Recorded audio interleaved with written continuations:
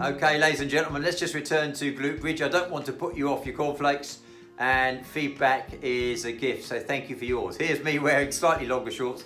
I want to be using this video again rather than it become a video nasty. Right, glute bridge is a great exercise, very versatile exercise, but very often the basic exercise, there's more that we can adapt and we could use and we can get more bang for the buck out of the exercise. So this is what this is really about. The basic glute bridge position, as you've seen, thighs are straight, nice tension in the thighs, less so in the hamstrings, certainly in the glutes, which the exercise gives its name. I'm up on my shoulder blades here and I've got a straight line between the shoulder blades and the knees. That's the basic position, hands down straight in line with the thighs. That's the basic position, holding there, keeping the hips up, keeping the hips up and I can feel that tension in the quads, in the thighs at that point. If we maintain that position, we can add a little bit more stress on the body, keeping the hands down, elevating one leg. So now my thighs are in line. I've got a straight line between my right toe and my right shoulder. A little bit more stress on the body, all positive. Or we can make it a little bit more stressful with the basic position by putting the hands across the stomach and raising one leg again. So thighs are in line. I'm just testing a little bit, a bit more balance and coordination and just all round core stability. So there you are, there's your basic position. You can add some difficulty in that by doing some activity with your shoulders. So here we are, I've got two four kilo kettlebells. Glute bridge stays on, and from this position, I'm just doing a variation of a chest press, that's the neutral position straight up, and a shoulder press, keeping the glute bridge on all the time, return to neutral, shoulders, or rather chest and shoulders, or we can do it one up, one neutral, and we can be exercising. And you see, I'm just stressing the core in a different way, and I can achieve some great stuff just with lightweight weights. Now for me, probably four or five kilos in each hand is probably all I want to be doing because I'm just developing, apart from balance and coordination, just working on the ligaments, the joints, and the connective tissue. Okay, if I don't want to go too heavy too soon, I can regress that. And here I've got two cans, 400 grams, that's all, pineapple slices, red kidney beans, or basically whatever you've got in the cupboard.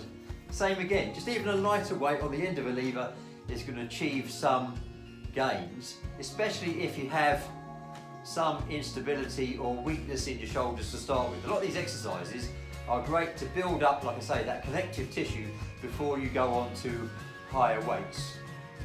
You're limited by your imagination, but you can feel the positive stress going through your shoulders, just building up the connections. And I've had a few uh, of my breast cancer girls actually reporting greater mobility just by repeatedly, repetitively doing these sort of exercises over a period. It's not going to happen in five minutes. Okay, so there you go.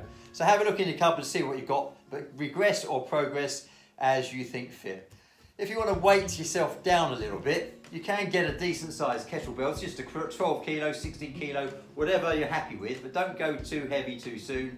And what we're doing here is a glute bridge and shoulder press. So I'm tracking it over my shoulder. You can do a dumbbell as well. You may want to put a carpet or a mat at the back so don't smash a hole in the floor. But really just stressing the core there, up and down, and watching the track of the elbows as we do it. There we go. And just be careful when you pop that down there. So there you go.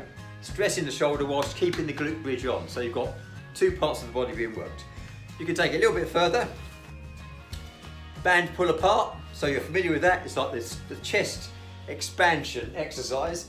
Once again, if I move a bit further, so you can see what's going on at the bottom end with the glute bridge and here, straight up, neutral position, and all we're doing is putting down towards the chest. And it sits, same as a band pull apart, just on the sternal notch, and we can either press it, press and hold, and you'll find the tension that is good for you. Don't have it too loose, because you're not achieving anything, and don't let it get too floppy in the middle. So you've got the tension on, big pressure there, keep that tension on there, keep the positive stress going through the shoulders. There we go.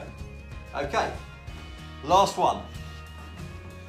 All we need to do here, so if you think of that as being a, a hoop, I'm putting my legs through the hoop.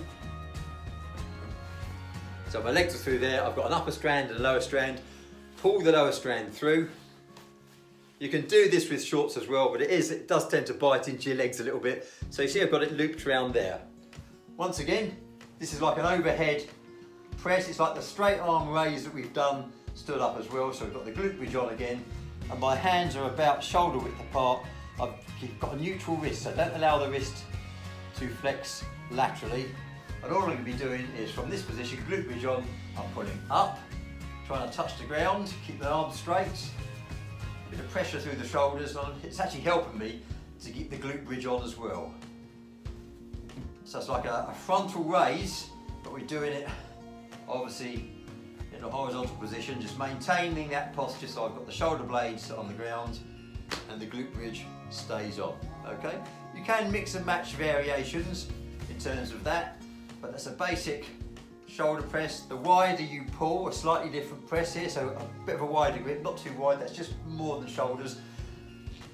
Harder, obviously, slightly different pull, but really good exercise. But like I say, go for the accuracy of the exercise first before you go for speed. Speed always comes after technique. Okay, that's all glute bridge.